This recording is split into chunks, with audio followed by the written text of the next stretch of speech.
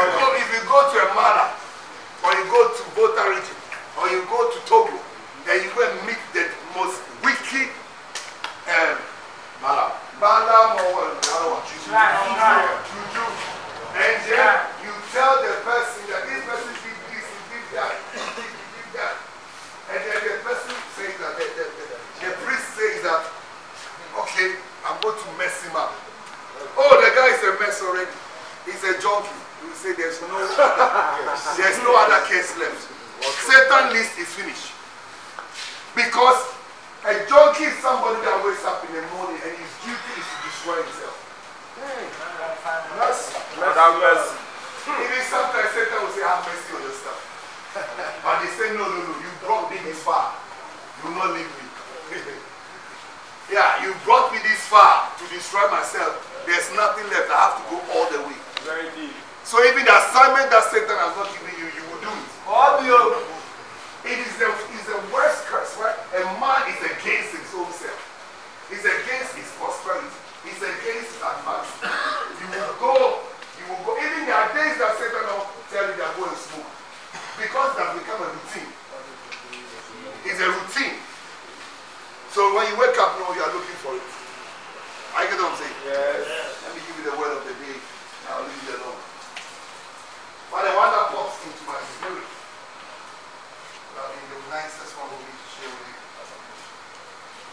We thank God that we, we, we woke up.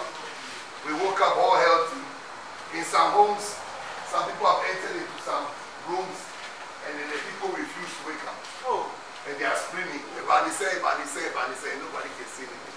So if you are awake, if you are alive, you shouldn't take it for granted. Yes. Praise God.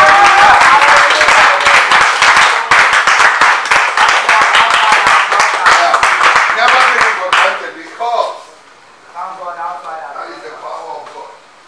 It says this morning, it says, Matthew chapter 5, verse, Matthew chapter 6, verse 30, 34. Matthew chapter 6, verse 34. Matthew. Matthew chapter 6, verse 34. Take therefore no thoughts Take Take therefore no thought for the morrow. for the morrow. For the morrow, For the for the morrow morrow shall take thoughts shall take thoughts for the things for the things of itself. of itself Sufficient sufficient unto the day unto the day is the evil is the evil thereof. thereof. So this today God wants to work on your He said you, you, you are thinking too much, you are worrying yourself too much about tomorrow. You are worrying too much about tomorrow. Tomorrow what will I eat? Tomorrow will I wear? He said don't think thoughts about tomorrow. But tomorrow itself comes naturally with its own provision. Wow. Tomorrow will come with its own provision. God will calculate how much water we need on the earth.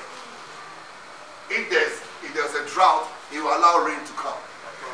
God will calculate that what is my son going to eat tomorrow, and God will orchestrate that somebody will cross your path and you get food to eat. So God, God is the one who has the responsibility to think about your tomorrow. He said that you are thinking too much, too much about tomorrow. He's not, he's not talking about physical issues, he's talking about thoughts. He said, for don't take any thoughts for tomorrow. For tomorrow, eh, tomorrow will take care of itself. And if God is telling that tomorrow will take care of itself, that means he's telling you that I am God, I create tomorrow, and if tomorrow will have to come, it will come with provisions. Right. Yeah. It will come with his supernatural provision. And this is the things that can make some of you that are called by God to, to, to not to follow God. Because somebody will come to you and say, if it be Jesus, you go church. Every day you preach, you preach. Every day you are doing this thing. Is it Jesus you are going to church? But I want you to understand that if God don't uh, provide for the next day, tomorrow can never come.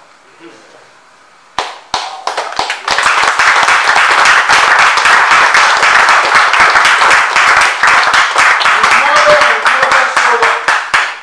As a matter of fact, since we were born, you've never seen tomorrow before. Hallelujah. It, it is taking time for them to catch up. Since you were born, you've never met tomorrow before. Yes. Never. Never Yes. It is the same. That's it. That is that is that is what should even bring you comfort. That, ah, If God, who is in charge of all the days, provides and He fixes every everything in the, in the day, but we are the ones who call the day that has not come tomorrow. I get what I'm saying? Yes. Yeah. But he is the God who completes tomorrow before tomorrow becomes the day. If it's not complete, he can pause. God has the power to pause all of us. I don't know whether you understand the Yeah. word pause. That will be frozen, but we wouldn't know that we are frozen. You think you are still chopping papaya, but you are frozen for one year. And God is saying, hey, I want to put tomorrow together because I saw one of my children who was not having the, the provision that I God I give. Oh, yes. So, so everybody wait. Let me finish this thing before I'll, I'll release the pause button and then everybody will start moving again.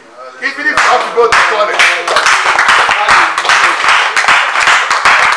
if you have to, go to toilet, start going, you will be paused by God and the toilet will be hanging for one year. But you will not know that God has paused everything. That's how powerful he is. So God will not let you come into tomorrow without provision for you. He would never allow that to happen. When God finishes, then he will say, This is the day that the Lord has made. Can you imagine? When he finishes orchestrating everything for tomorrow, then he, God, can boldly say that this is the day that he, the Lord, he has made.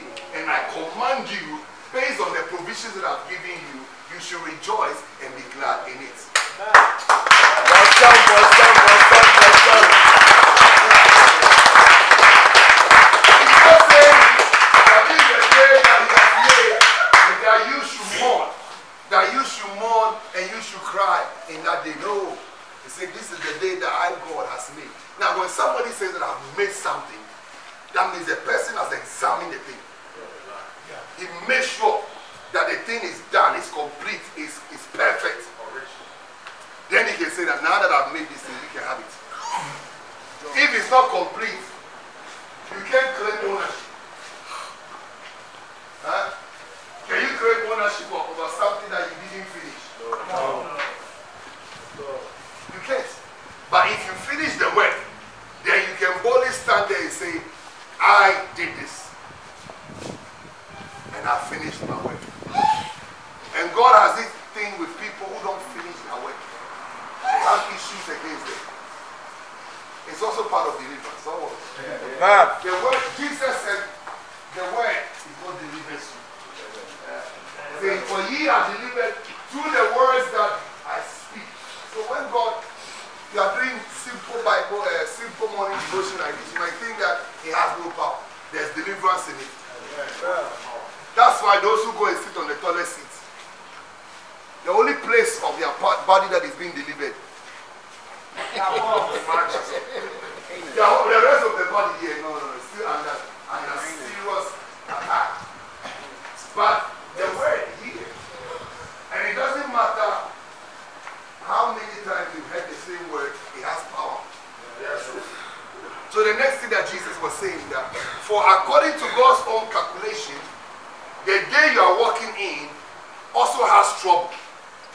There's some problems.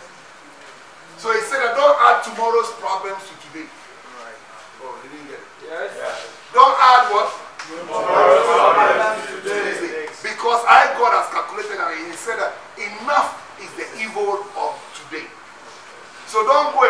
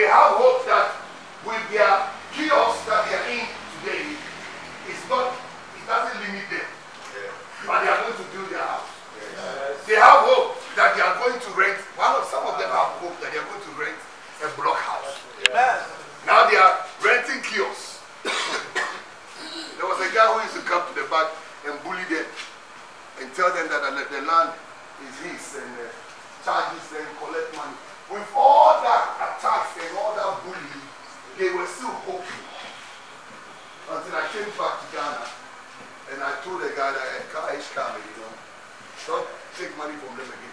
Leave them.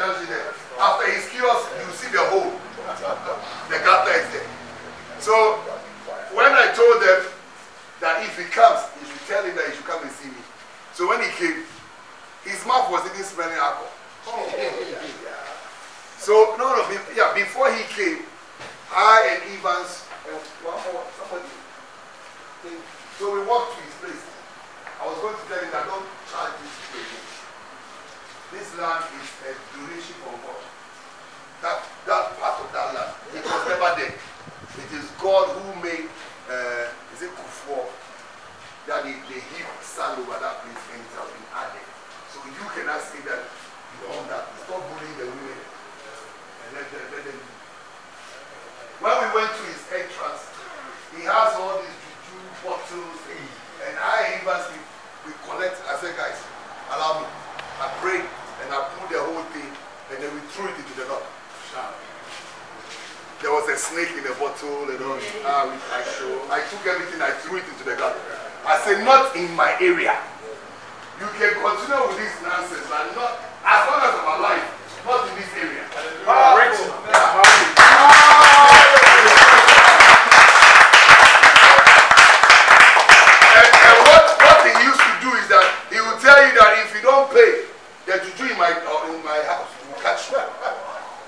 know Africans, you can get them with that. Oh, yes. So when the women all gathered and saw, saw, saw us throw the whole thing into the gutter, they were like, wow.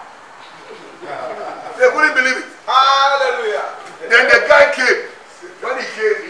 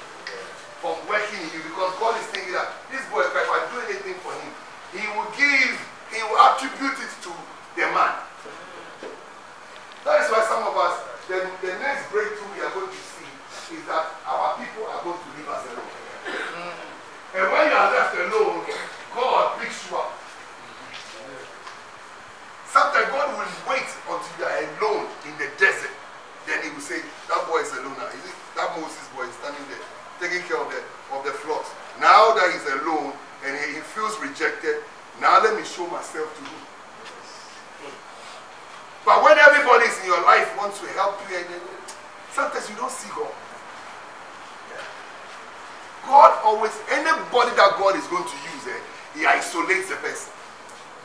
So that the person can now know the frequency of God. He will isolate you. If you ask David, the same thing. What David experienced alone with God in the wilderness, in the forest, on the mountains, that is what he brought to the city.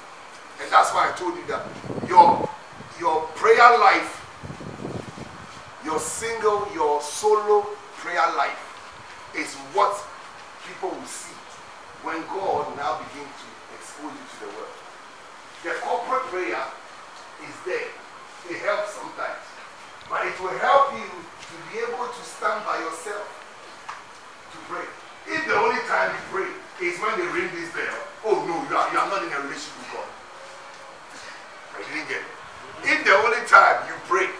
Is when they ring this thing, then they force you to come together and pray. You are not in a solid relationship with God because God likes one on one. I'm not saying that God is not accepting our prayers. No, He does. When we pray corporately. But God cherishes it when you isolate yourself and you say to yourself, I am going to talk to my God. God sees that you place value on the relationship. The prayers that are going to be answered quickly is the ones that you yourself, when people are playing drafts, they are watching movies, you say, No, I'm going to take five minutes. It's not how long you pray. And they don't put so much time on how long you pray. Don't put so much emphasis uh, on I pray one hour, so God must say, No, no. You can pray two minutes and God will hear. Two minutes. And it's not, it's not, it's not how long. I, I, I put myself under that curse before when I believe that God will answer my prayer if I'm able to stand up midnight, 12 o'clock, and pray to 6 o'clock in the morning. That was six hours. God cannot go anywhere. No. But later on, I began to walk in short prayer like this. Short, short. I can do six minute prayer and it will affect. Yes. Because you want to have that mentality that if I don't pray at least one hour or six hours, God will not hear my prayer. Prayer became difficult for me. Prayer became a burden. So I'm going into prayer, but it's a burden. Charlie, so I'm going to stop for six hours. Oh. And then I'm praying, and I'm out of I'm out of words. I'm out of uh, desires. But because I, my faith is in time, that I have to pray six hours to be received. So even if I have nothing to say, I'm just going up and down. And God is like, no, no. Yeah. It's not, it's not how long. But let the prayer be sweet, authentic, and connected by before God. Let the prayer be sweet. Let the prayer have, may you have a desire. So after that, I stopped that long, long, long, lengthy prayers that carry no weight. If I'm praying, then I'm praying. And with me, I can pray one hour. Because if I have to pray for each and every one of you, I can do one hour. Easily. Yes. By the time I reach Lord, then maybe I'm like 45 minutes. And then I go, I go, I go, I go, I go. By faces. I do by faces. So once I'm praying, then God flash the faces to me. And when your faith comes, then I pray according to what God is putting there. Yeah. So we can do that.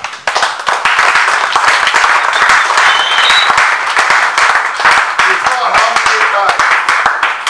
It's not, it's not the time. And, and you see, you will not limit yourself anymore when you are having the short, short prayer. There's power in the short, short prayer. And because it's short, you are not bored. Because it's short. You know, and then when you feel like I've, I've told God what I want to tell God, they say Amen. It's easy for you to come back after five minutes again and pray. Okay, Father, you know, I just prayed five minutes ago, but I forgot to tell you about this. Lord, I pray that even including the house, uh, today that their food be good. Sometimes after you have to also pray for the kitchen staff.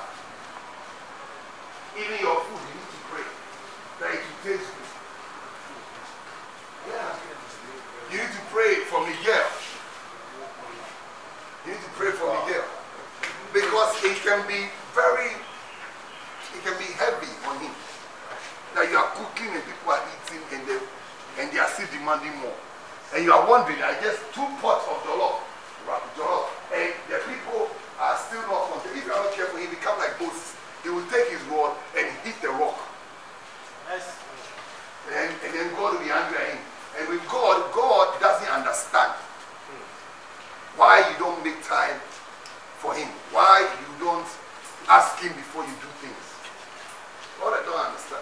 can never fight a battle battles for God.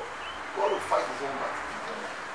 Me, the first time I read about Moses getting angry because the people didn't appreciate God, I was like, oh God, then you should be happy for Moses. But God said, no, no, no. No man can fight for me. I fight for weak people. People cannot fight for themselves. I fight for them. So if anybody will fight for me, then that means that person is stronger than me. So God said, no, no, I don't like that.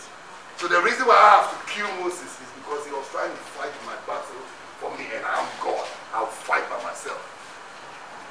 You know? So that's why- and then, and then, this is the last one, and I'll leave you. And then if Jesus says to, to, to, uh, the first now, he said to Pilate, he says, just as we read yesterday, if this be my kingdom, then I will instruct my, my followers, my disciples to fight for me. And then he said it in the garden. He says that, Peter, in other words, nobody can fight for God. If I want, I can ask God to give me 12 legions of angels and they'll fight for me. But how will the promise come to pass if I don't go through this? So Jesus understands the power that God has. So God has the power, but Jesus sees that it's necessary for him to be crucified. It is important for him to be what? Crucified.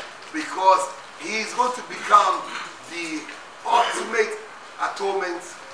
If Jesus had not gone to the cross, like this morning, do you know what will be happening this morning? We will go and buy goats, lamb, and all of us will come and speak. You will tell me what you did yesterday that was bad, and I will say the thing over the lamb. After the whole house have spoken, this one will say, yesterday I took Ernest, Ernest meat on his food when he went to the toilet. This one say, yesterday I stole somebody's meal. Yesterday I took this guy's t-shirt. And then I will repeat that on the lamb. And after I've said all this, all of us are sins, including mine. I put everything on it. Then I'll slaughter it. Can you imagine? Every day, that's what we must be doing. So we'll kill this lamb so that God will forgive us. So Jesus, he couldn't bypass that. It's a cup. He cannot go away from that cup. He must drink from that cup. He must die and pray this prayer. So this is what the agreement between the Son and the Father. He says that, you know what, this bloodshed every day, they are slaughtering, slaughtering. It doesn't even please me anymore. Because all the gutters in Israel is full of blood. Just full of blood. Because man is always sinning. And then later on, so he says that then, you know, Jesus, my son, because you, you care so much about these people, you will go to the cross, and on the cross, when you become the sacrificial lamb, you will pray one prayer that I will never forget for the rest of eternity. Amen. And that prayer will be, Abba, Father, forgive them, for they don't know what they are doing. So anytime somebody asks for forgiveness of sins, it is not actually what you are saying that God is hearing, but what Jesus said 2,000 years ago is what is being played back to the Father. So whilst you are saying, Father, forgive me for smoking again, Father, forgive me for doing this, then God is hearing, Abba, Father,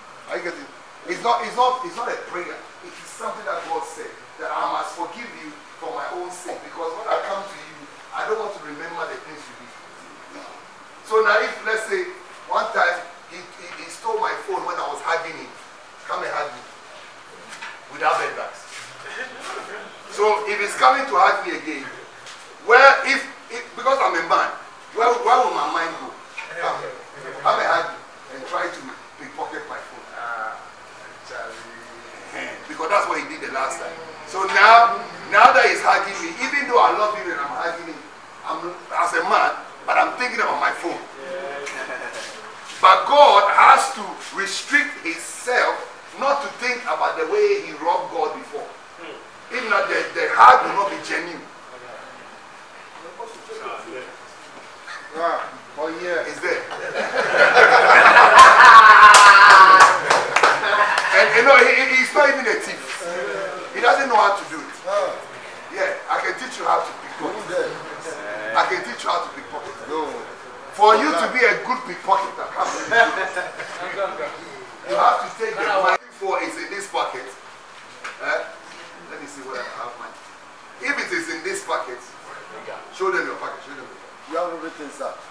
Yeah, if it is Yes, in this pocket. 100. Yeah. So I have to take his mind off this pocket. So I have to let. How are you, sir? so when I hit there, his mind goes to where I'm not telling you to go and try. Say no to drugs. Yes to life.